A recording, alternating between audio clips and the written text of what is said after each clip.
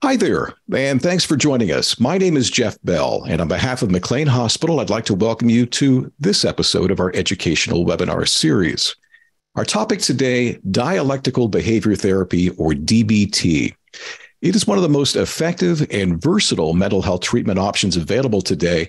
And yet, for all of DBT's success in the treatment of all kinds of mental health conditions, it is still widely misunderstood. So, our goal today is to provide an overview of just what DBT is, how it works, and what sets it apart from other treatment options. And we have lined up the perfect guest to do all that for us. Dr. Anna Precht is a clinical psychologist and program director at McLean's Adolescent Dialectical Behavior Therapy Program for Young Men. She has extensive experience treating adults and adolescents using DBT in both individual and group settings. Anna, thanks so much for joining us. Thank you for having me. It's good to be here. Well, we're thrilled to have you, and we have a lot to cover today. So, before we dive in too deeply, I thought it would make sense to ask you to describe in the most general terms what we're talking about when we reference dialectical behavior therapy. Can we start there? Sure. Um, in a broad overview kind of way, DBT um, was initially established to treat borderline personality disorder, and it blends behavioral principles with mindfulness strategies. It teaches skills for people to manage their emotions, their behavior, and it has a variety of different components, including individual therapy, group, therapist support, and the availability of phone coaching in between for the skills use. So, from what I understand, the history of DBT itself is pretty fascinating. Can you walk us through the evolution? Absolutely. So back in the 70s, um, Marsha Linehan was a psychologist in Washington, and she wanted to research how to treat emotionally dysregulated, very complicated patients that she was seeing in her clinic.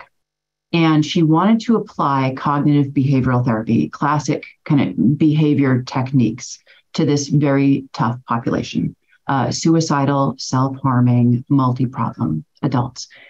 And what she found when she was applying standard behavioral therapy to these people of problem solving was that people would not end up feeling better. In many cases, they'd, they'd feel worse. So, for instance, if um, a patient came to the clinic and said, I lost my job this week and I, I self harmed and I couldn't get out of bed to go to class and I'm worried about my relationship.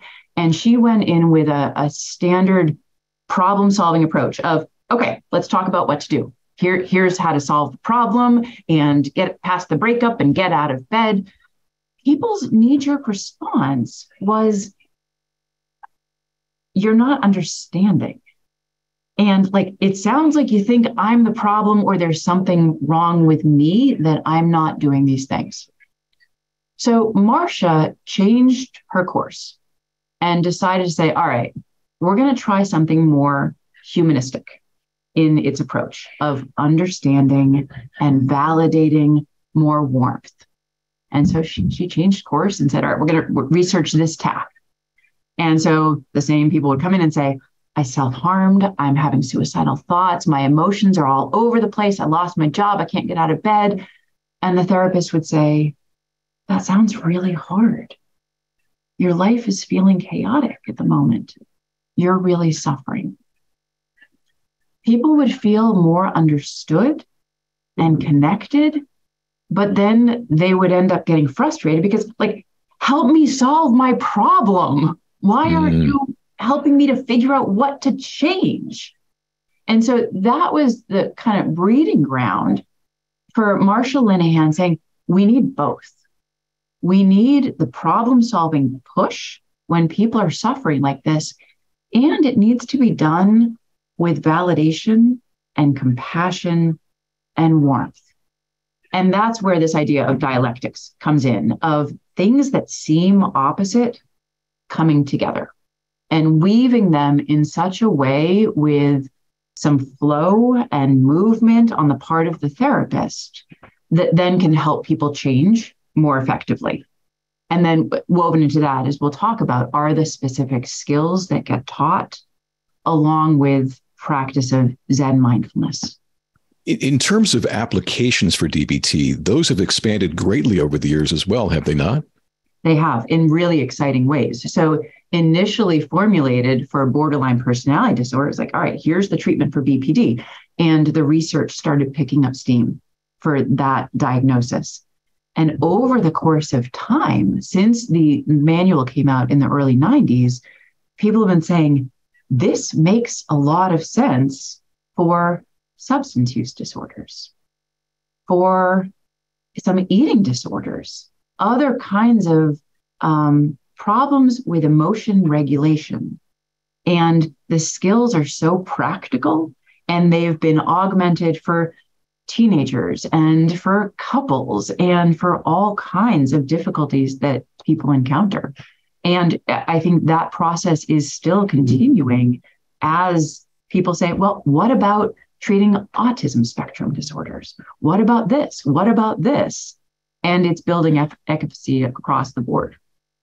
Where would you put it in today's uh, spectrum of, of, of, tools available to psychologists, for example, today? Um, in terms of tools available, in terms of training, or in terms of um, popularity, prevalence of use? I think it's certainly gained in popularity and prevalence since I started training in it over 15 years ago. It's much more widely accessible. Um, trainings are much more accessible to clinicians. It's gaining in popularity as the research continues to get bolstered. Um, and there are still lots of areas in the country, in the world, where it's it hasn't been as picked up. Um, there aren't the providers that are needed in a lot of areas. And we'll circle back to this, but I think one of the fascinating things about DBT is it's being used proactively for mental well being these days as well. The, skills make sense. Uh, so I'm the program director here of a program for um, young adults and teenagers, and not just boys and men. We, we're much more gender diverse and fluid. Um, but kids come to this program, parents are learning these skills as part of this program. And frequently people say, why? Why isn't everybody being taught this? There's so much utility and application of skills for how to slow down and regulate one's emotions and communicate more effectively. And I think people are starting to realize that. And I've heard about all kinds of school based integration of DBT skills. Let's talk about those DBT skills. There is a set that is commonly associated with DBT. I assume that pretty much stays consistent across DBT treatment. There are. So there are four main modules of treatment um, that get taught in skills groups that are part of when somebody is entering into a DBT program. The core component the cornerstone of the treatment really is the mindfulness practice. And it's not just like be mindful, right? Because like people say, but how? but what do I do to be mindful? And DBT says, here are specific things to do. Here are specific ways to practice in a non judgmental way, slowing down and being present. And so that that's really the the core component of DBT. And we weave it into the rest of the modules that include interpersonal effectiveness, teaching people how to ask effectively for what they want, how to maintain relationships, how to assert their self respect when needed, and how to do all three.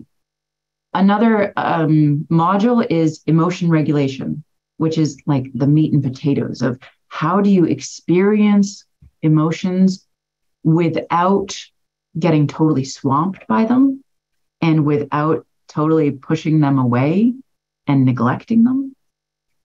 And then the, the fourth module is what we call distress tolerance of how to tolerate profoundly difficult crises, emotions, urges, how to get through it without necessarily like regulating the emotions themselves, like how to get through painful situations without making it worse, which sometimes people do in the height of their emotions.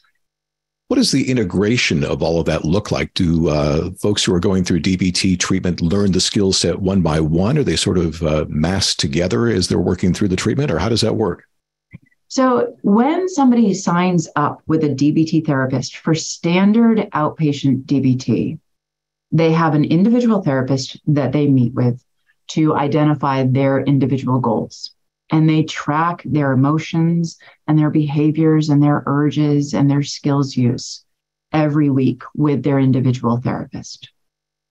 And then, as an adjunct to that, they attend a DBT skills class or group where they learn all of those modules. And each week, it's it's a skill and there's an assignment of practice. And then there's the review of the homework from the previous week of really strengthening the muscles of these skills. I want to drill down a little bit more on the mindfulness component because that's so key, as you talked about here. You mentioned the value of being present and the value of self awareness. Can you speak a little bit more to the, both of those? I mean, it it's the linchpin of the treatment because if somebody isn't aware of what's going on in the moment, they they don't have the ability to then steer it differently. I'm thinking of like when I'm driving in a car and I'm going 10 miles an hour during in a very narrow street where there's construction and other cars coming at me, going slowly and being present helps me then pay attention to what I need to do to, to steer. If I'm going 75 miles an hour, I have fewer choices. I don't have the ability to then steer differently. But when I'm paying attention and here, options open up. Mm-hmm. And so that's true with my emotions, my thoughts, whatever people might be saying at me. I can move more slowly in a way that gives me control of what I do next in my response, either to what's going on internally or externally. This is part of a larger trend, is it not, to incorporate the, the mindfulness component into much of uh, the psychological tools that are being used today? It, it is. And the, the research on mindfulness is abounding as well. And I, I remember at one point I was, I think I was reading something that said doctors are going to be talking about mindfulness in 50 years the way they talk about telling their patients to quit smoking or eat vegetables or exercise now that mindfulness is really such a crucial component of psychotherapy but also as you said kind of the broader well-being we mentioned in our lead into you that there are a lot of misconceptions out there about DBT. What do you what do you find are some of those more common misconceptions? You know, I, I think there's a few. Um, the the first ones that come to mind when people hear about DBT and they haven't gone into it as far or learned about it as much, they think of it as being incredibly um, superficial and just manualized in a if you have this problem do this thing um, that i think for some people they hear that and go my life is more complicated than that. I i i it's not a one for one ingredient. Like don't tell me to take a bubble bath if like i'm having urges to harm myself kind of thing. And dbt really is much more complex than that. It is not a superficial treatment. There are ways that a therapist and their client get into very heavy, difficult things. I think another common misconception is that any therapist can do DBT. Just read the book and do it. Like, oh, I, have I've read the worksheets, I learned the skills, I, I know about mindfulness. Now I'm prepared to do DBT. Um, and that isn't the case. I mean, there's very specific training that goes along with this for how to provide this treatment in a way that's more than just the didactics of the skills worksheets. It's how to do the session relate to the person in front of you. Also, how to provide coaching in the heat of a crisis between sessions, which is also a fundamental piece of DBT that a therapist provides the ability to say, like, oh, you're in it now. You learned this skill last week. I'm going to walk you through using it when you need it most. Um, and so I think a common misconception is any therapist can do that quickly and easily. Um, in terms of other things, or that that it's only for borderline personality disorder. That if somebody needs DBT, it's just because they, they must be suicidal. And that's not the case. We're getting a number of questions coming in, and I want to weave them into our conversation as we go today, Anna. And sure. one of them I think is timely as we we progress here with what DBT is and is not. Um, a, a, viewer would like us to kind of compare and contrast DBT to what we commonly know as CBT, cognitive behavioral therapy. Yeah, absolutely. As I mentioned, DBT is closely related to CBT. In fact, the, the original manual that Marsha Linehan published is called Cognitive Behavioral Therapy for Borderline Personality Disorder. So CBT is, is baked in. And it, it's an expansion upon it. That CBT focuses heavily on the C, the cognitions or the thoughts.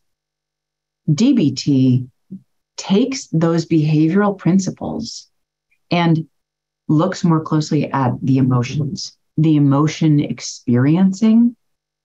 And then it also adds in specific skills about behavior and tolerating distress and leaning heavily on acceptance as a strategy. Like I said, in, in the birth of DBT, it's like not just the I'm going to change my thoughts piece, but I'm going to practice acceptance and mindfulness as well. So it's it's different and there are some overlaps certainly. I want to start talking a little bit more about the mechanics of DBT because I know that's going to be very germane to our conversation as well. Um, individual versus group settings, inpatient versus outpatient, therapist patient dynamics, expectations. Can you walk us through some of those aspects of the DBT process? Yeah. So I've uh, done DBT in a variety of different settings outpatient, now residential, inpatient, partial programs. And there are core pieces of it. Like I said, the, the skills remain the same. Mindfulness remains the cornerstone of the treatment, whether it's in an outpatient setting inpatient setting. And there's different ways of practicing it. So in DBT on an outpatient basis, like I said, it's the individual therapy, the group skills class, the availability of skills coaching between sessions, and then that consultation team, that group for providers to get support and stay on track. And that's the outpatient model. Here in, in my residential program, it's not just one session a week or one class. In the residential piece, it is all DBT all the time. And every member of the staff is trained in these skills, is speaking that language.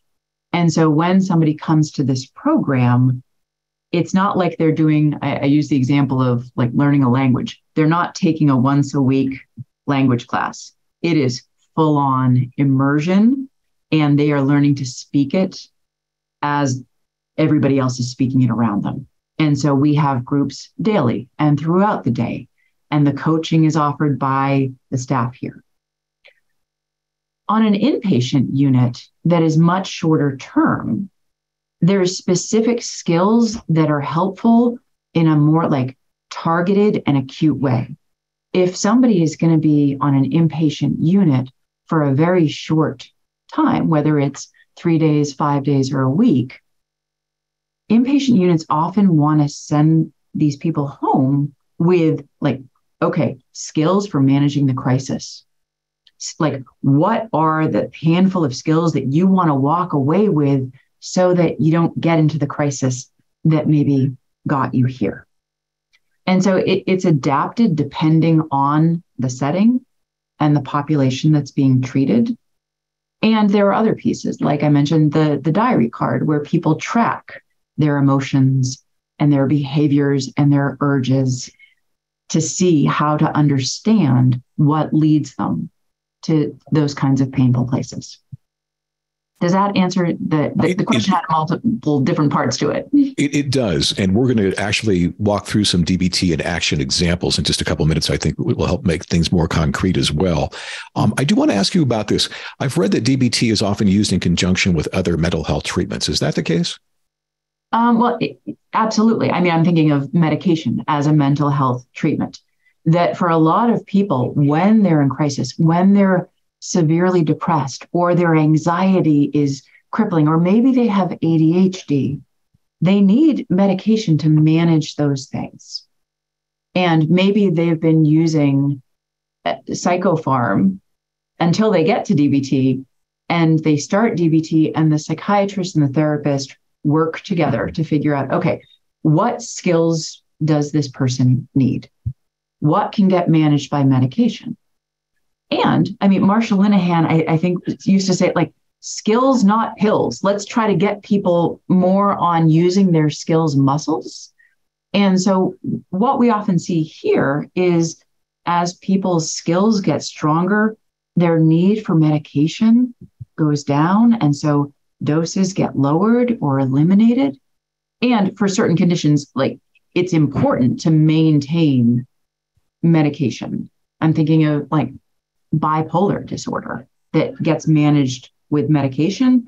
And then the skills can be an adjunct to that.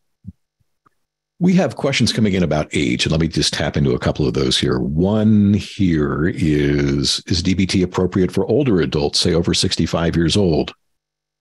There's some good research on that. Yes, absolutely. And anecdotally, I've worked with many people over 65, mm-hmm. and it might be like we need to change how the teaching of the skills happens, whether that's the type of group that people feel like they can connect with, or maybe it's certain ways of teaching the skills that make sense. The examples I might use with a 65 year old as I'm teaching are going to be different than when I'm working with a 15 year old. And the, the skills remain the same, and we've seen great benefit. So, the flip side of that spectrum is there a recommended minimum age for DBT therapy? Is it appropriate for kids and teens? I know you work with teens, so I can answer that second part, but what about younger kids? So, I, I do specialize in working with teenagers, and DBT has been adapted to working with younger kids, with children. It's again, it's it's an adaptation, and a lot of it is parenting work with the the little ones that parents need to learn the skills, need to learn how to communicate and maybe respond to behaviors differently. And then the skills get taught in a way that's more accessible to little kids. I think it would be really helpful if you'd be up for this to have you walk us through a particular hypothetical example. Let's say somebody comes in uh, looking for treatment for depression and is interested in, in being treated with DBT. Can you just take us through that process pretty much from start to finish, what that looks like? Sure. I, am imagining on an outpatient basis, right? Sure. That's kind of the most typical.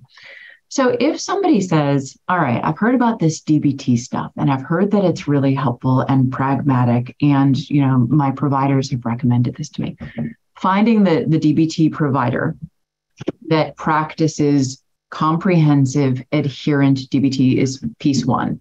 And asking important questions of that therapist in the interviewing process. Questions like, do you provide skills coaching between sessions? Do you sit on a consultation team of other providers where you get support and consultation about the patients you treat? Do you have a separate skills group for your individual clients? Those kinds of questions. And when you find a provider that is part of a comprehensive, adherent DBT team, you get started with mapping out goals for treatment and really digging into what are the things that need to change. And this is different from other therapy modalities. We get specific and we get structured and we say, all right, we're going to track these things and we're going to talk directly about them in an organized fashion. And then we're going to say, okay, we've got to map out what is your hopelessness? Looking like? What is the sadness looking like? How often are you staying in bed for days at a time or showering? Like, are you showering if you're severely depressed? Are you having suicidal thoughts?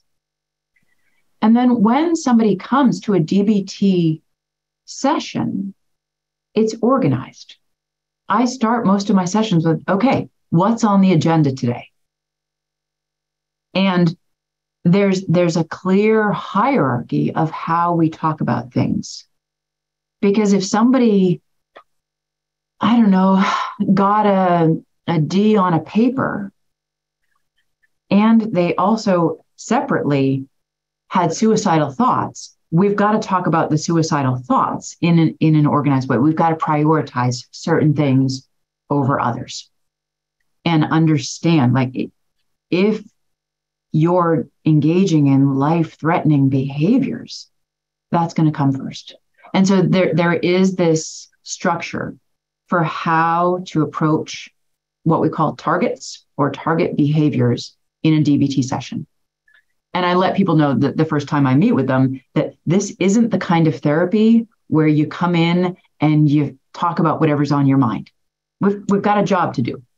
And we want to stay on track with them because if that depressed individual is so depressed that they're they're hopeless and suicidal like we got to take that job really seriously.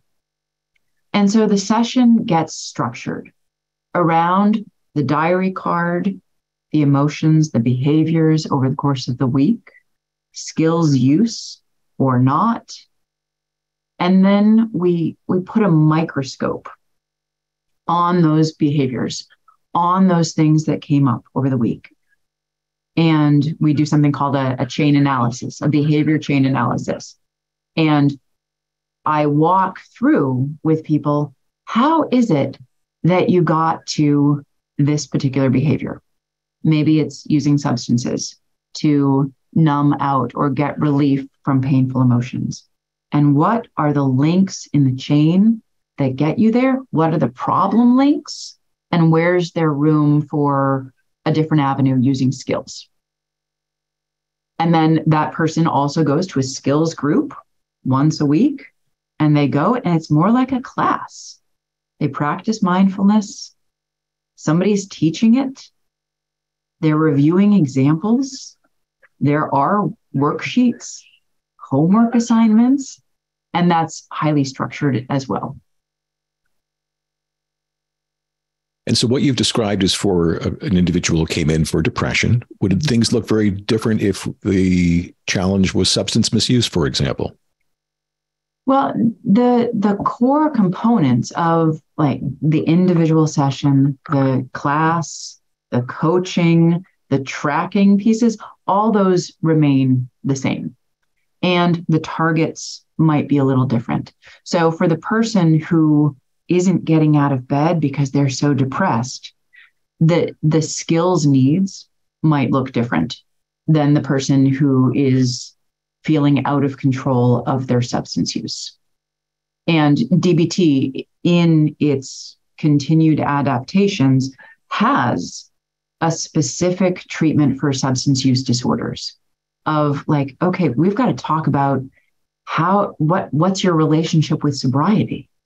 Or what does that look like when you relapse what what specific skills are necessary for that difficulty and that would then come in to the individual therapy or the, the skills group or the, the coaching but those core components remain the same had a couple questions come in about finding a DBT therapist, and folks are referencing the fact that that can be very difficult. Do you have any suggestions? Oh, it can be. And this this is one of the things that the DBT community is very much concerned with. Like we got it. We know this treatment works. We want to make it more available, not just in cities and not just in the United States and not just like just just just because it hasn't caught on in the same prolific way that I think it's going to keep doing. And so for finding people, there are different resources.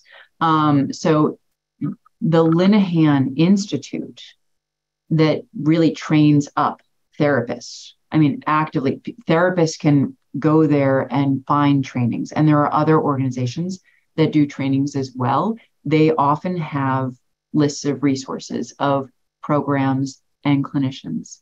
There are, I know Florida, for instance, has its own borderline personality disorder association where there's a whole resource guide for how to find DBT therapists in that state. And I mean, I think there are people out there, but it's hard to get to them. So it's calling the insurance panel and saying, give me the list of people who say they're trained in DBT, and then interviewing them. Um, and, and that's the process that people typically go. Or calling McLean Hospital and saying, I need help finding a DBT therapist. What do I need to do? You just touched on something very important interviewing that potential therapist. What are some screening questions that might make sense to ask? Well, I, I mean, I think the big ones, like I mentioned, are are you sitting on a consultation team with other DBT providers? Have you been trained in an intensive way in the provision of DBT? Is there a skills group? Do you offer coaching? What might be some limits around coaching? How does what does that actually look like? Those are the big ones. And like, do you have your clients use diary cards? And then I think it, it is a rightness of fit because DBT therapists, we we have the structure, we have the skills, and we can range in wild ways in terms of style and personality, as all therapists do. And then it's the rightness of fit. Do you have expertise in substance use disorders? Have you treated people who are over 65? And oh, you have? What does that look like? How is that different from when you've treated younger adults? A viewer would like your thoughts on self taught, self paced workbooks when no therapist is available. You know, I, I'm of the mindset of do what you can, do what works. And absolutely, there are plenty of places in this country, in this world, where there isn't DBT in this comprehensive way available. And so people do do what they can. And there are videos online where you can get some skills. There are worksheets and workbooks. It, Zoom has become, I mean, as annoyed as we might get by it, it does open up doors like having this conversation today. And maybe there are ways to connect to other areas licensing across state lines has changed in light of the pandemic, where people can provide treatment to uh, areas where there aren't clinicians available. Let's uh, talk for a moment or two about the role of families in DBT support. Mm-hmm. Um, my understanding is that there might be some formal roles in terms of the actual practice that's being put out there for the treatment, and then maybe some more informal support roles as well. Can you speak to those? Sure thing. I I mean, I view families as integral. I mean, it, and it can span from the kids and the teenagers and the young adults who are maybe in college and still have a relationship. But I'm also thinking of the 65 year old who needs DBT and has adult children or siblings who are interacting with them in a bigger way. And the family members need support too. When somebody that they love or are supporting is struggling in these kinds of ways. I, I think it's helpful, in some cases, even like crucial, that family members get skills as well. So, for instance, in, in treating young adults here who often have close relationships with their, their parents, their siblings, we have parent skills training that we require. Because if the environment doesn't change in a more skillful way, it is a far, far steeper uphill battle for the individual client to then make the change, right? And so there are organizations that offer skills and support to family members spouses in getting DBT skills and like reading the books, learning the skills to be able to reinforce it, I think is crucial. As DBT also expands, I think there's more opportunities for skills groups that are specific to parents, spouses, siblings, children. And I only expect that to continue to grow as it gains in popularity and continues to show efficacy. So, on this topic, another question to weave in here How do you encourage a loved one, especially one who is aware of DBT, to focus on their DBT skills when they are not able to do so on their own? All right. Um, this is this is a question for the ages, Jeff. Truly, I, I mean, saying to somebody, "Use your skills," doesn't typically work right? Like, why can't you just use the things that you've been learning? Like, do it differently. I see you suffering. It, it is so hard. And that is one of the reasons that I think family members need support too. They need skills to help them with their emotions when a loved one is struggling in these ways. Because as, as much as we want to encourage and support, in most cases, we are limited in our ability to force somebody to engage in using skills or participating in therapy in a more helpful way. And so I, I, think communication with your loved one's therapist can be helpful because there might be individually tailored ways that, like, oh, this might be an avenue for communicating with somebody and like really helping them to use skills better. Another very specific question here. Uh, any best practices or suggestions for applying DBT to individuals with intellectual developmental disabilities and co occurring mental health?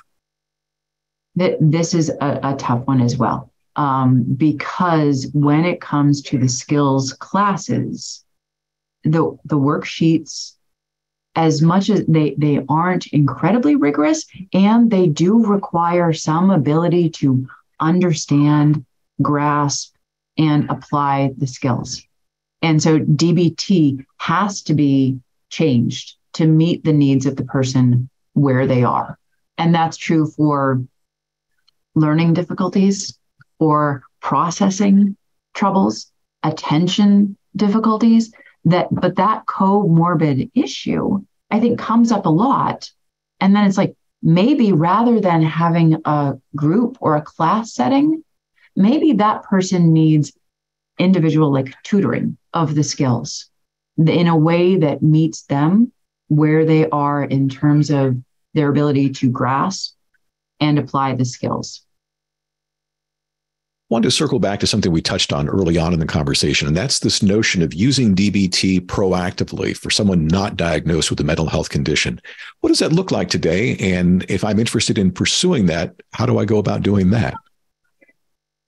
So I want to make sure I understand. So if I don't have a diagnosis and I'm like, ooh, this sounds kind of interesting. I want to like learn more about this and apply these skills to improve my life Exactly. I've not been diagnosed with depression or OCD or particular mental health condition, but what I hear about DBT sounds fabulous and I think it could help build my own skills.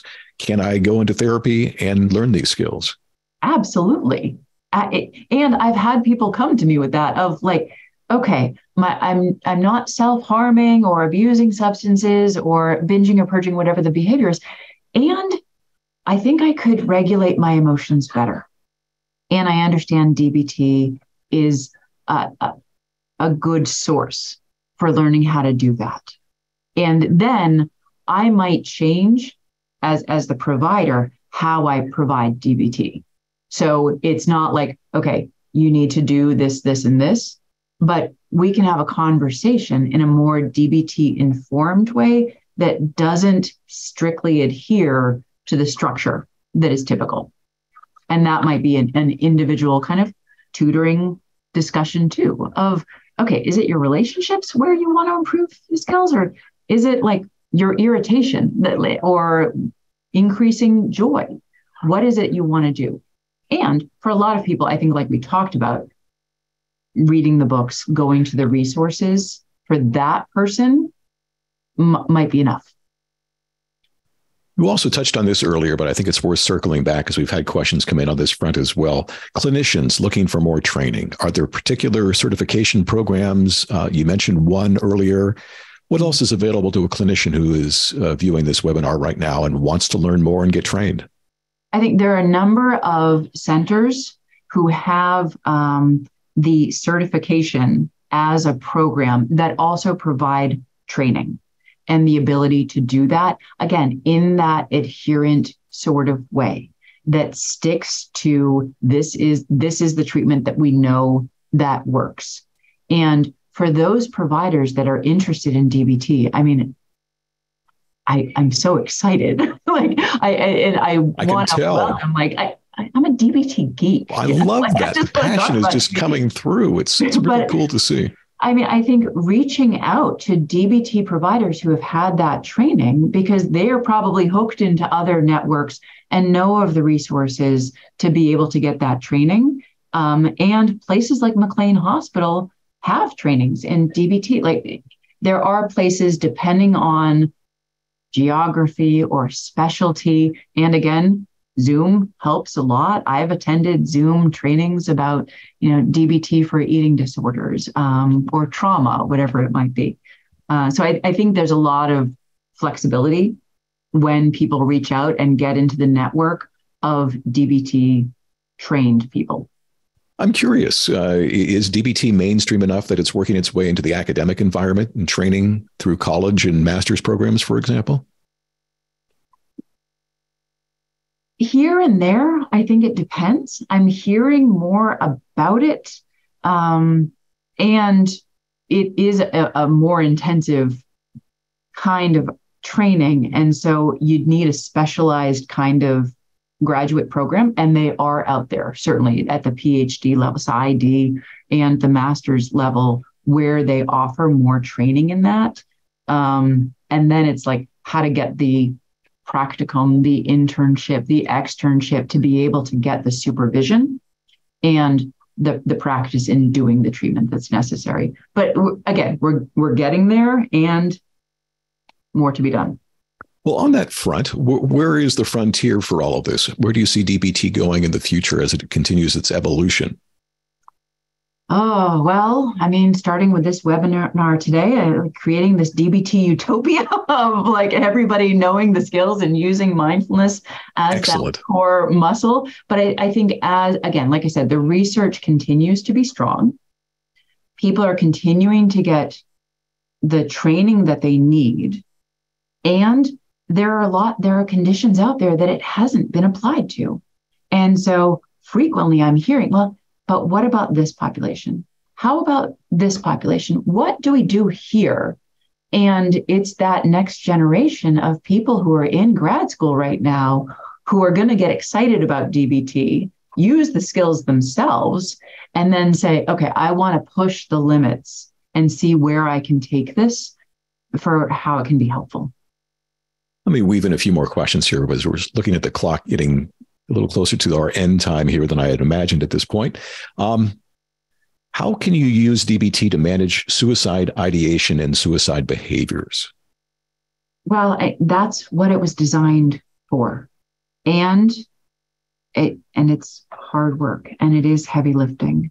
And so, what I do when I'm working with somebody that struggles with that is like we have to talk about certain skills to manage those thoughts and behaviors.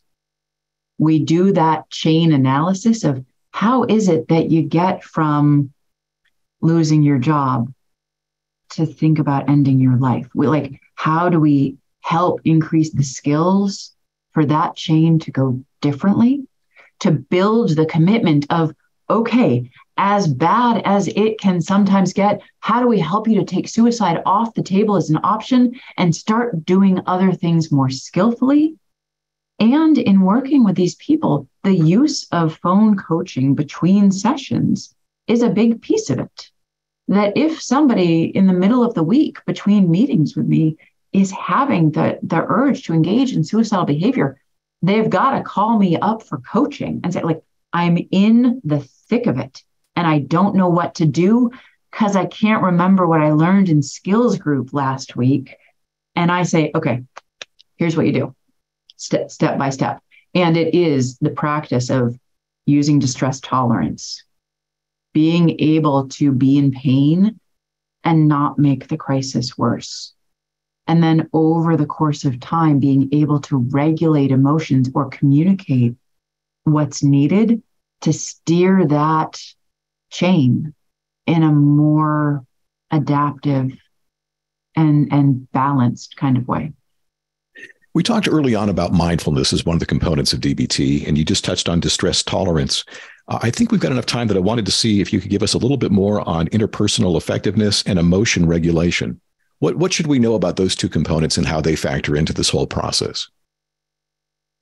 Well, I think when people struggle with their emotions, um, for example, anxiety, that if somebody gets incredibly anxious and says, I can't ask for what I want, I, I can't ask for the raise at work, and they don't know how to do it.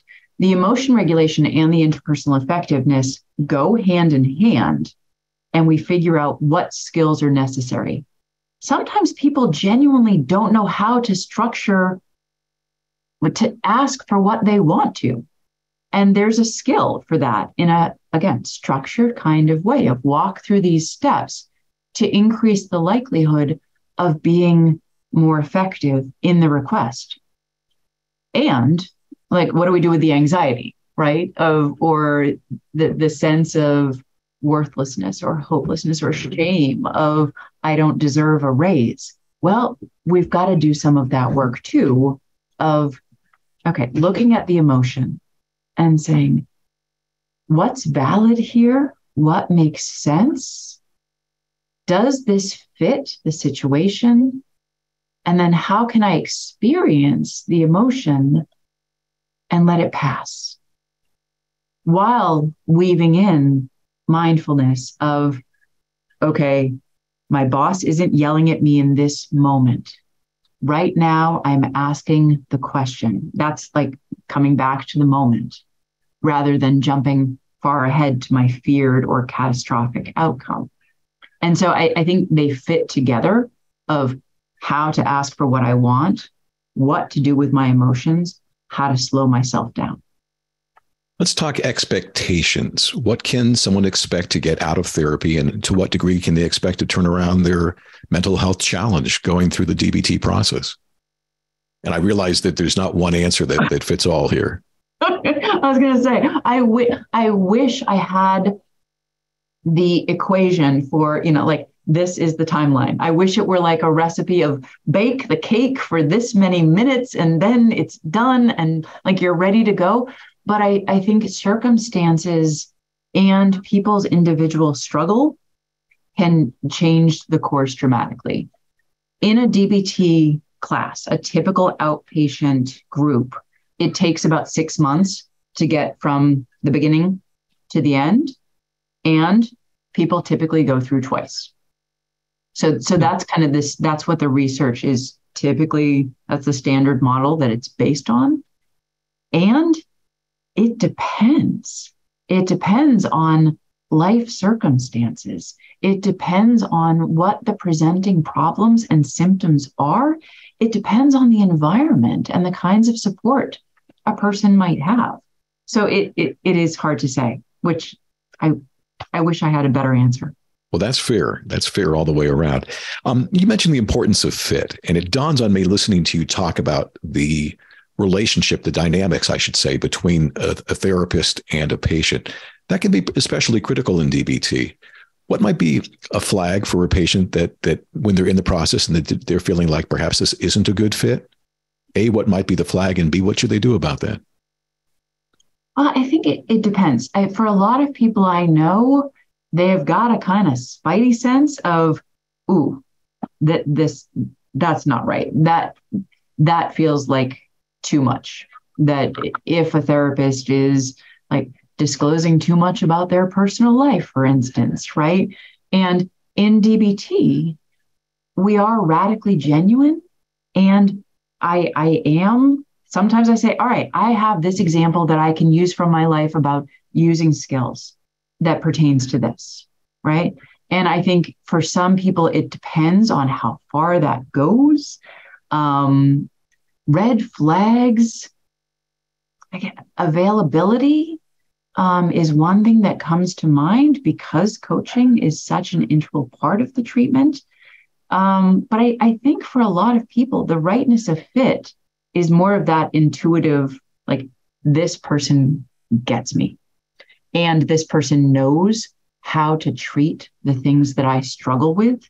And that's the part of the interviewing. Like ask those questions directly and then maybe see the fit.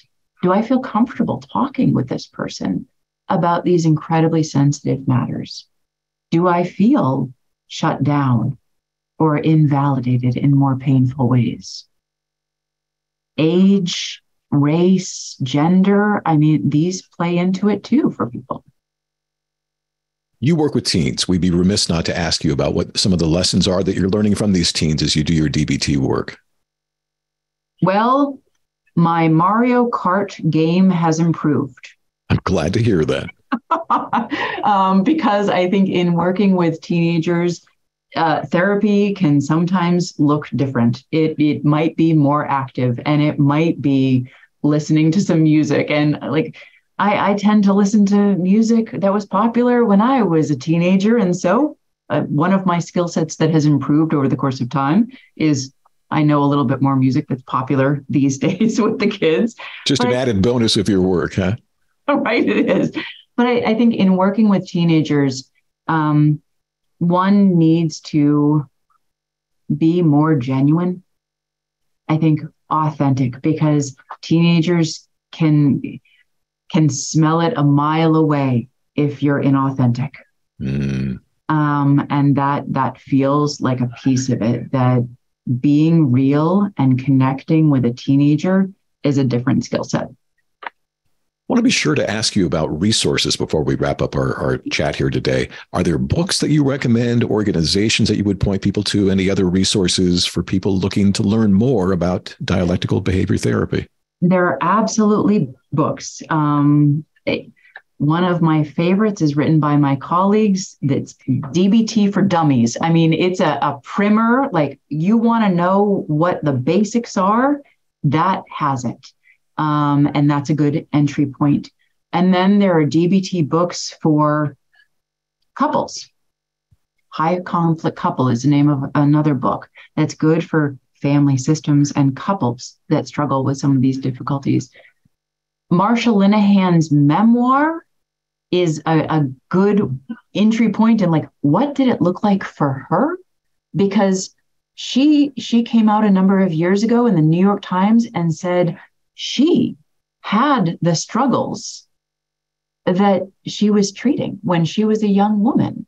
And so that might be a different point of interest for people who are curious about what DBT looks like and what its founder uh, kind of her experience um, mindfulness, I plenty of, of books on that. Jon Kabat-Zinn's uh, Wherever You Go, There You Are, like is a classic. It is. Um, I mean, there's there's a host of books out there, sure.